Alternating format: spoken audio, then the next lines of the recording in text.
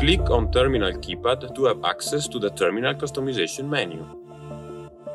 Select the map visualization on the third quarter and click on the green tick to confirm.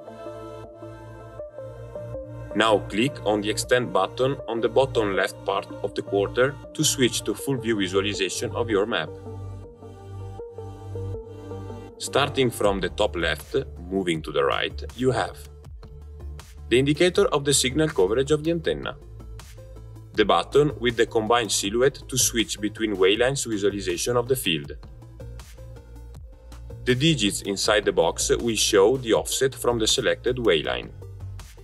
Looking at the map, the graphical visualization of the wayline shows your yellow or red lines. Each color represents the travel direction. The line you are following will be thicker compared to the others. The digit in yellow below the box is the wayline number. The steer wheel icon shows the steering status. White with a red cross on it means that the system is not ready for the operation. White only means ready to the operation. Orange means that the automatic steering has been activated but not all conditions are satisfied. Green automatic steering is active.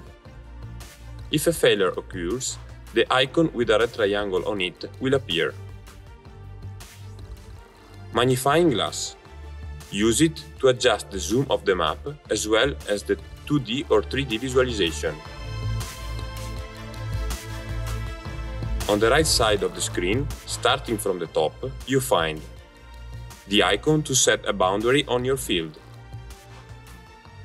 the icon to set a new wayline, the icon to set an obstacle in the field, the icon to set a marker, the icon to enter the advanced settings of map visualization, and at last, the icon to switch back to quarter visualization.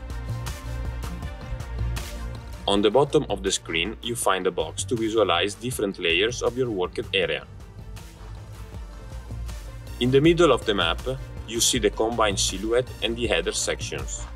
If you have the automatic section control activated, the green dots will switch to white if you overlap an area already harvested.